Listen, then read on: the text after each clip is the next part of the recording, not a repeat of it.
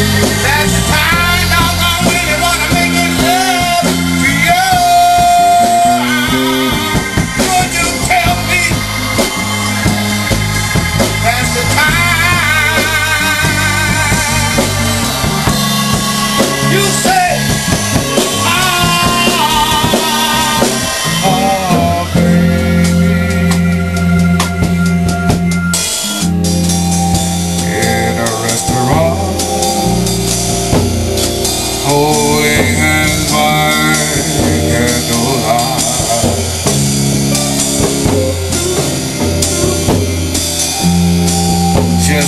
to, to hold.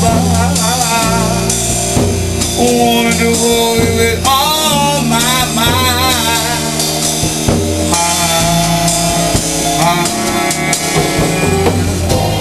That's the time.